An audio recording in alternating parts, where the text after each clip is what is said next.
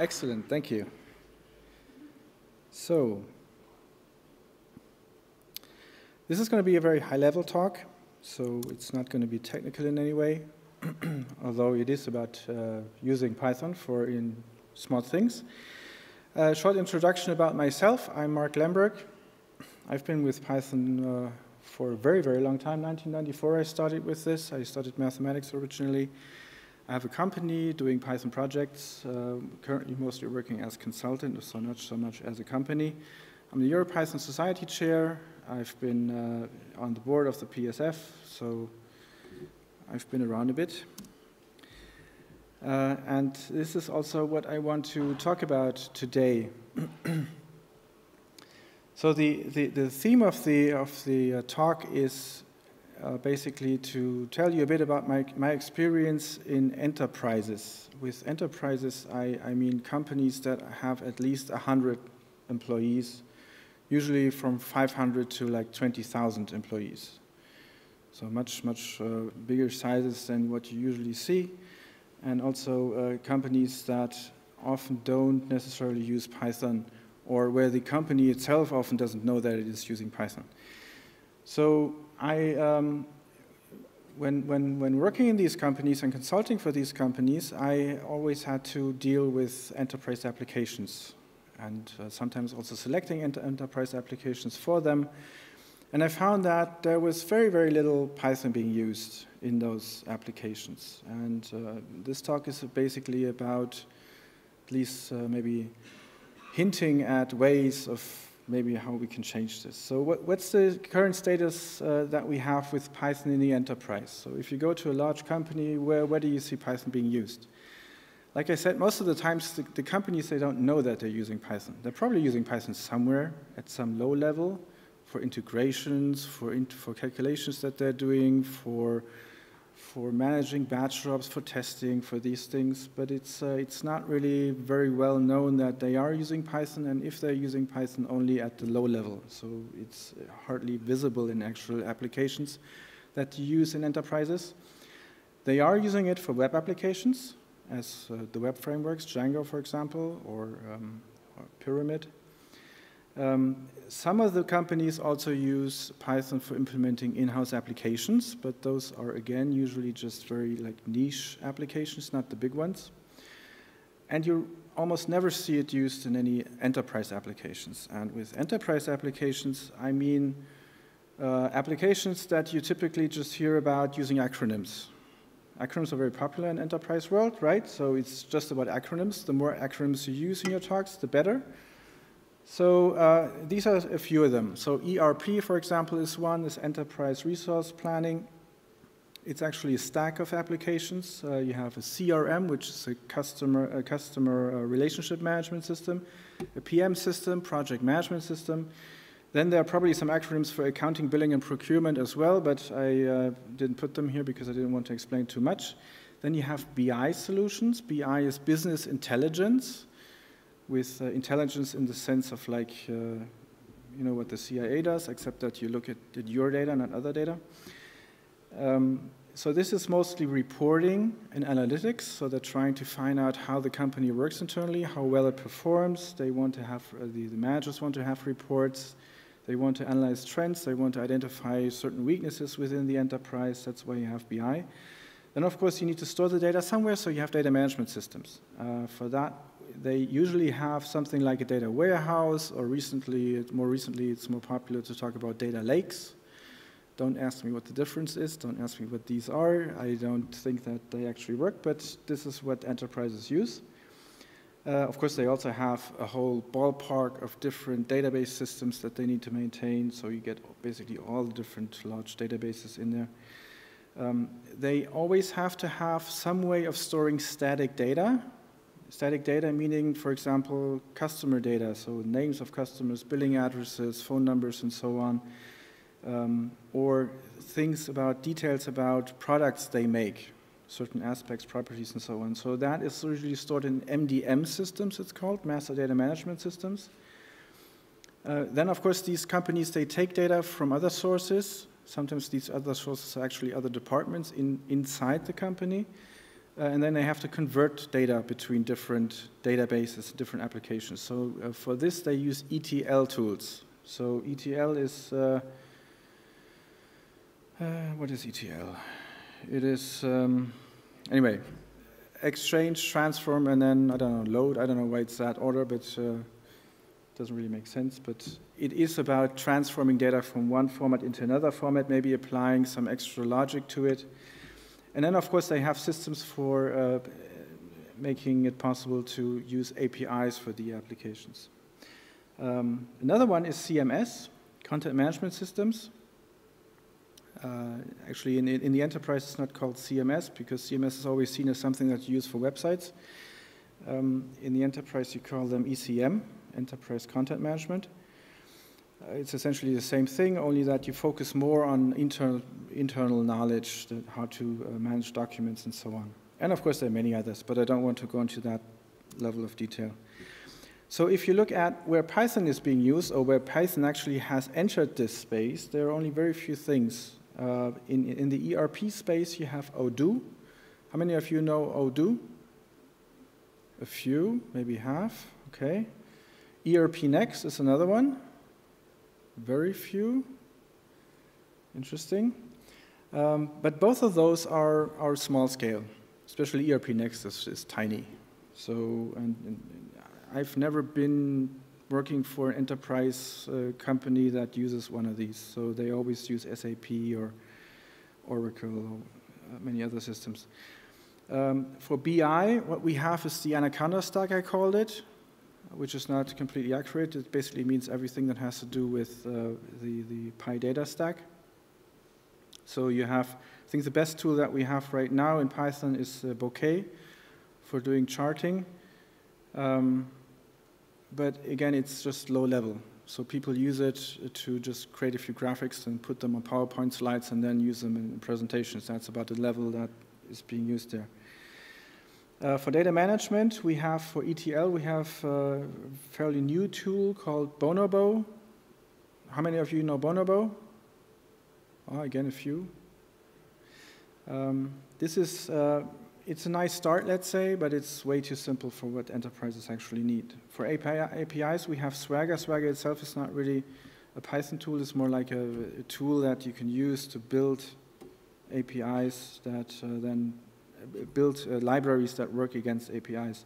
For CMS, we have Plone. How many of you know Plone? Uh, about like maybe half.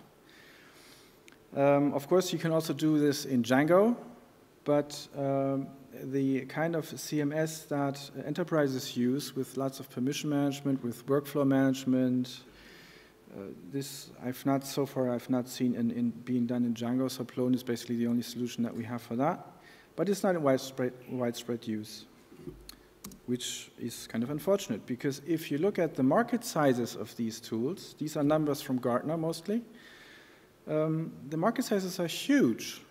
There's a huge potential there that could be used for Python applications. So just look at the ERP uh, market size, like with almost 42 billion dollars expected by 2020, and it's just two years away.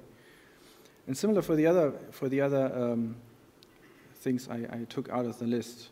So there is a lot of money in this. So if someone wants to do something in this area, even if you stay tiny, it's still going to make you a lot of money.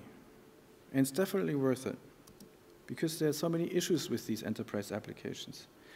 So some of the issues I mentioned on, on this slide, of course, the biggest issue is cost. When you when you are in an enterprise, you want to have one of these systems installed at your place and you want the, the system to be used, you always have to customize it. And this customization is usually called an implementation project that you run. It takes at least a half a year to run this project, usually longer. The estimates that they, uh, the vendors come up with are usually wrong, so the expectations that they have are, are different than the ones that uh, the, the enterprise has, and so there's a mismatch there, so you have to address that.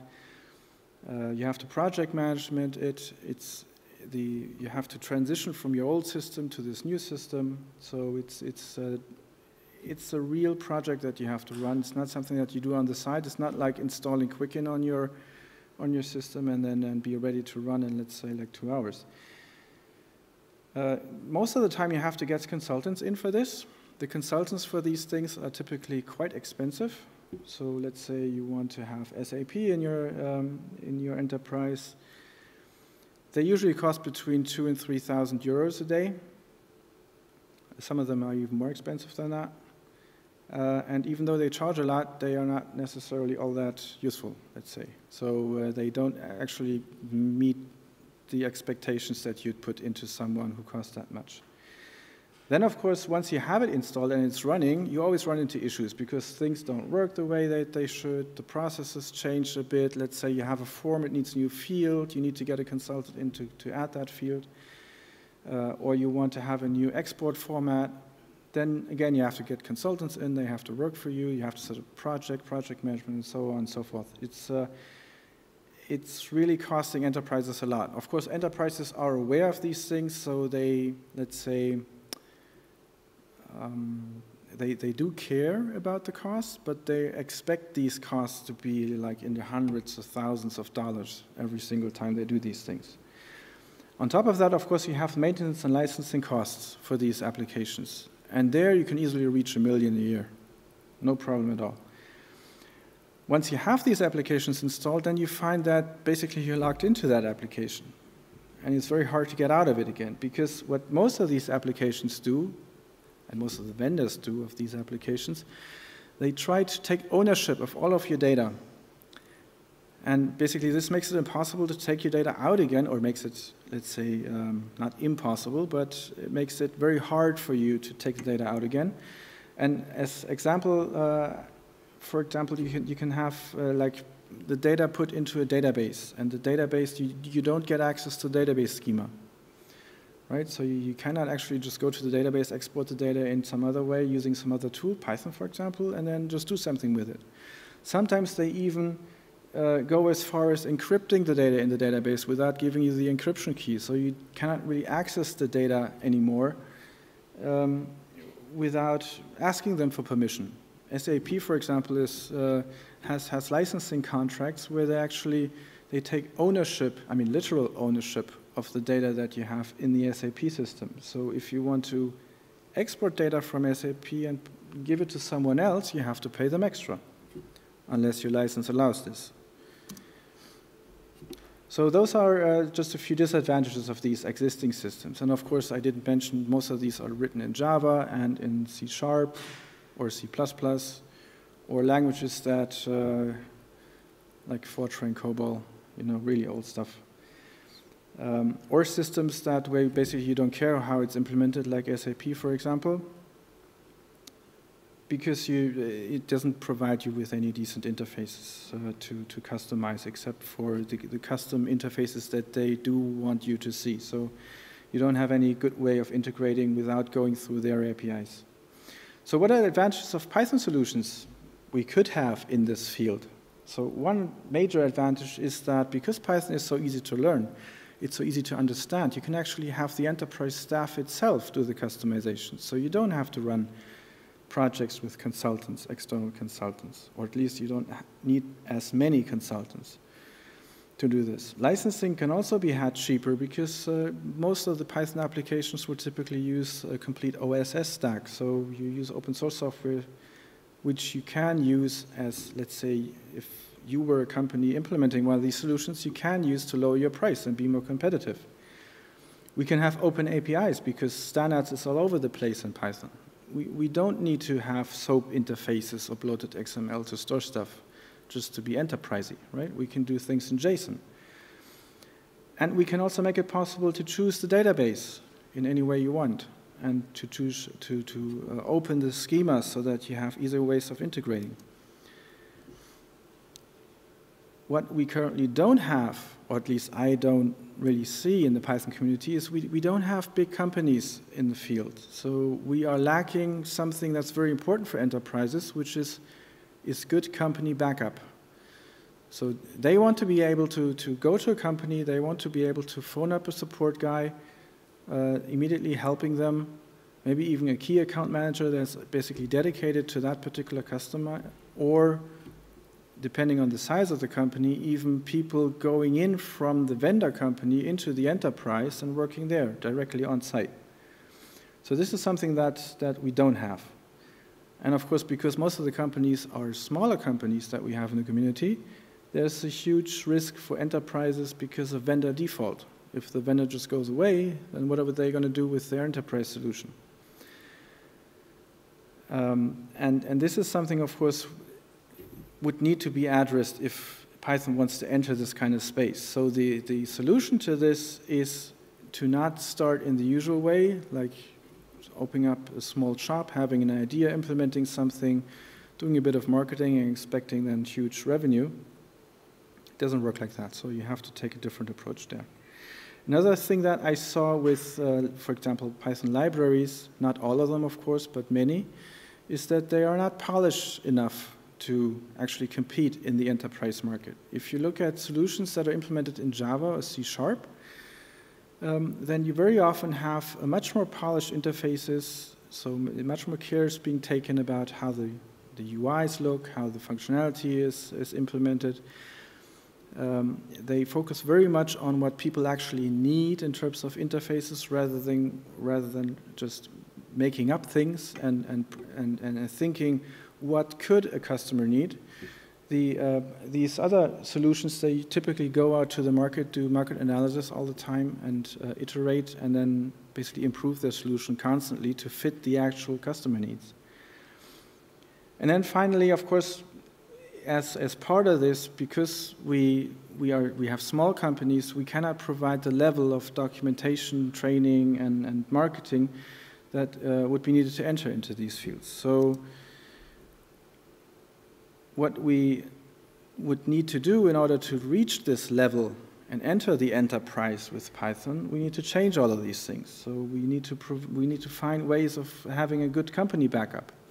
One way to do this, for example, is if you want to start a smaller company, you enter partnerships with larger companies that do provide a lot of these services. And then via the, the partnership, then as to the enterprise, you look as a larger company. Because then you can say, okay, I have this partner, the partner is going to do all the training for you, it's going to do the support for you, etc. So that's a way to do it. Uh, there has to be a lot more focus on support and training.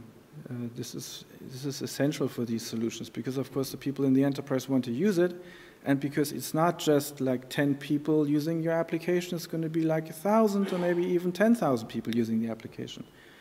So this is essential if you want to be successful in this area. And then, like I said, you always have to look at the customer. You have to see that everything is built in a way that addresses actual customer needs and not things that you just think that the customer would need. Plus something that small companies usually forget, um, not all of them again, but uh, many companies, including myself, for example, I have a similar story. I started a, uh, building a product I had, a, I had an idea. I started building the product. The product was done. I started a company to sell it. Uh, then I started marketing.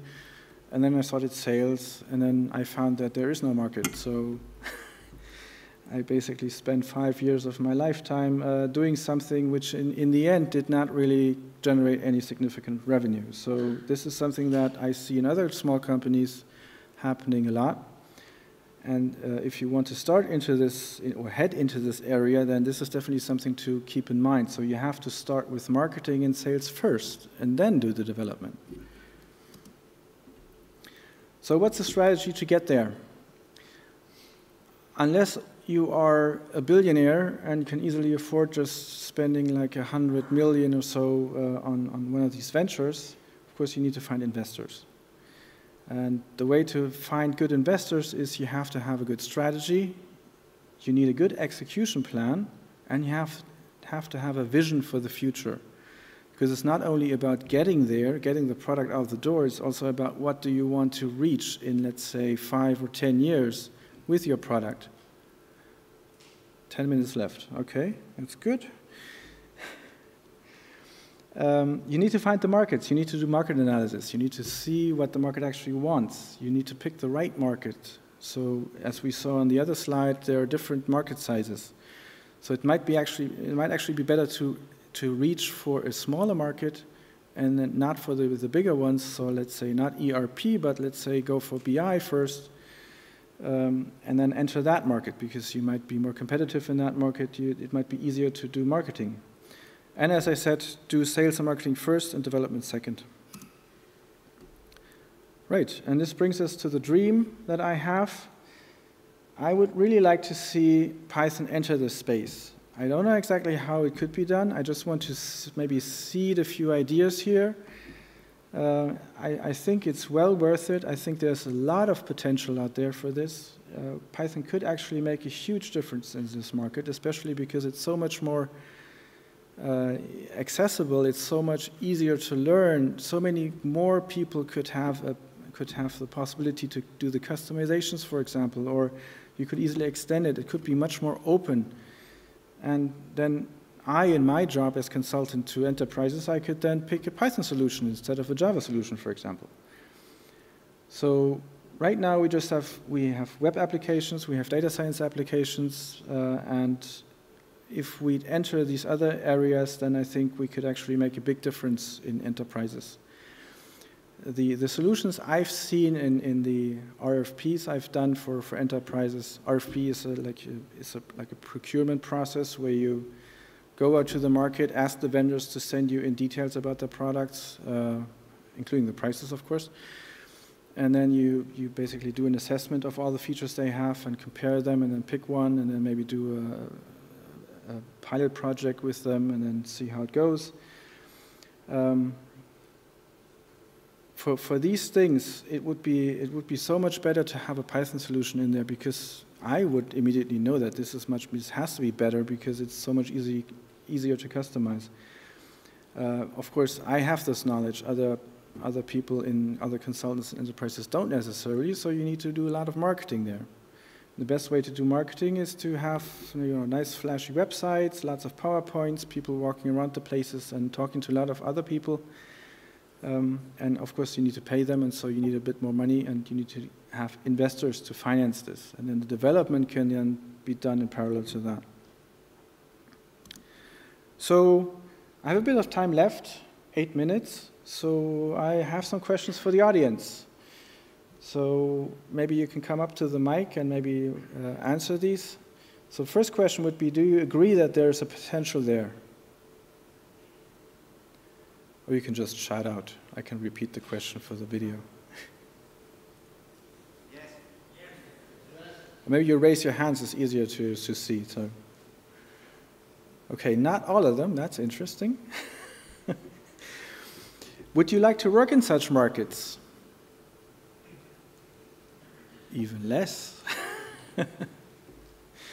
also interesting. What, what, what is your favorite, let's say, market to work in? Are you more like in the web space, and do you like low-level work more than? And, and this is not a question, basically. I mean, I, I don't want to say that low-level work is, is, is bad in any way. It's just different, right? So, do you do you think that working in that space is is easier or better than in an enterprise, or is it just the size of the company that you think is intimidating or maybe not, not the right place for you? Okay, that was a hard question to answer by a hand uh, sign, so. okay, how many of you think that, that small is better than big? Okay, about maybe not, not half, maybe a bit less. How many of you think that, that enterprise is boring? Okay, maybe a third. How many of you would like to work in the enterprise as freelancer and, and customize things and earn a lot of money? okay, plenty more. yeah, I know, it's, it's the money question again, right? How many of you uh, think that uh, this is not a viable way forward because we don't have enough Python programmers available to actually pull off this thing? No one. That's, that's good. Oh, one. Okay. Well, this is already much better than like 10 years ago. How many think this whole thing is way too risky? Okay, one back there. Jacob? Uh, I have a little story. Uh, I taught uh, a Python course in London a few weeks ago. Mm -hmm. And uh, some people were from the financial district, and they're saying that uh, they're really, really interested in Python these days for data processing purposes, for importing Excel spreadsheets, doing processing, and then exporting to Excel sheet, spreadsheets again. So that's very much the business intelligence part. And it's hot in London right now. Yes, and I've heard it from other sources as well. I, I'm, I'm currently working for a fintech company in Cyprus, and basically that fintech is doing exactly that. It's basically taking data, processing it using Python, and then pushing it out again to other uh, uh, data, um, basically uh, imports. And yes, definitely. So there's a lot of work being done in Excel. There's lots of import from Excel and processing and output to Excel again. Uh, this is definitely something very hot in the finance industry. I know that, that uh, Bank of America is building a complete system in Python, for example, internally. I know that many other banks are, are using uh, Python internally to build systems or to integrate systems. Um, the fintech I'm working for is, has built a, a middle office service uh, completely in Python. And because it's in Python, it's extremely competitive against all these other solutions that you have out there, and so they're actually doing quite well. So definitely finance is a big industry, and it's one of these enterprise level industries where Python does already make a difference, but again, it doesn't have this, they, they're not using the Python for any of these enterprise applications, or at least I haven't seen any. They, they do build custom systems internally, they do a lot of integration and, and uh, data management using Python, but all the larger systems that they have are different systems. Yeah, Fabian?